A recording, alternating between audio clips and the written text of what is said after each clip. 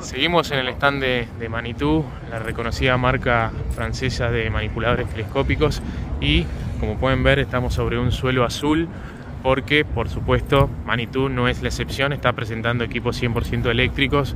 Miren lo que es este equipo, un MRT 2660, impresionante, 100% eléctrico, como pueden ver acá, lo han marcado con tonalidades azules, una línea que han llamado Oxygen, obviamente por la no contaminación de los mismos. Están presentando tres productos, este manipulador de brazo telescópico, un telehandler, manipulador tradicional y esta plataforma de brazo articulado.